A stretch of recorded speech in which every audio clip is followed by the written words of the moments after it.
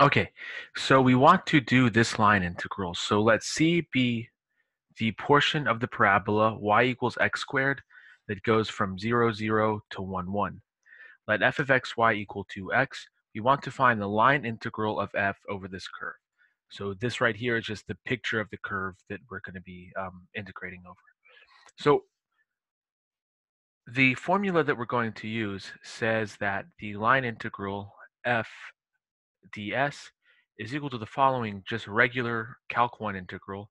It's the integral from t equals a to b f of r of t times the magnitude of r prime of t dt. And here r is any smooth parameterization of the curve.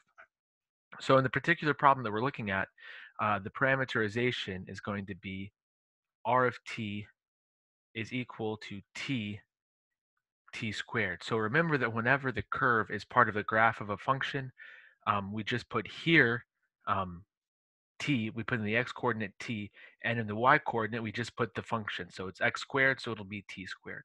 Because every point um, on this line, or on this curve, the coordinates are x comma x squared, and that's exactly what we get over here. It's going to be t comma t squared. The y coordinate is the square of the x coordinate, in other words. And for the for the values, for the limits on t, we just look at the x values. x goes from 0 to 1. So x is going to go 0, or uh, t is going to be between 0 and 1. Okay, so if you look over here at this formula, we need to know what r prime of t is. So let's compute r prime of t. r prime of t is 1 2t.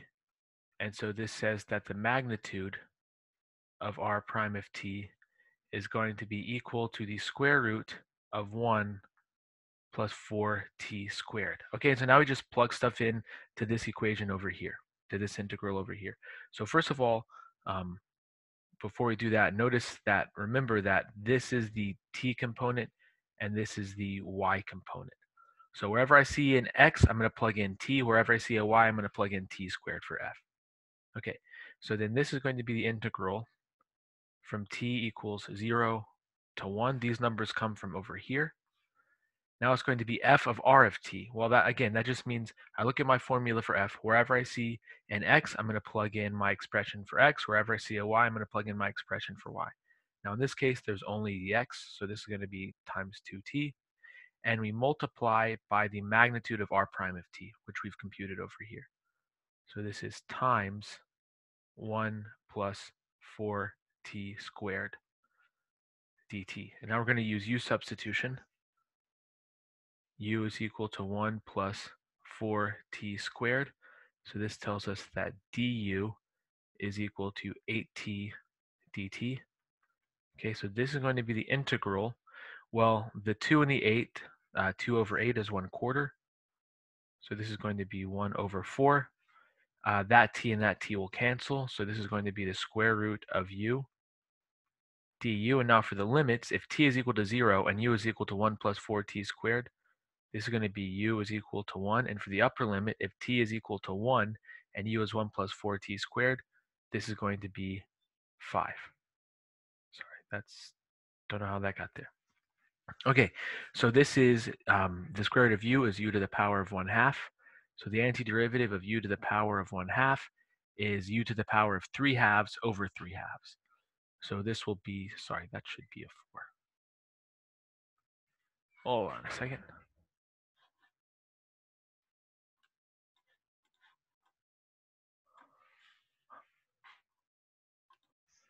So this is 1 fourth. Again, this is u to the 1 half. The antiderivative is u to the 3 halves over 3 halves. So that's the same as 2 thirds times u to the 3 halves evaluated from u is equal to 1 to 5. The 2 over the 4, that's 1 half. So this part is 1 sixth.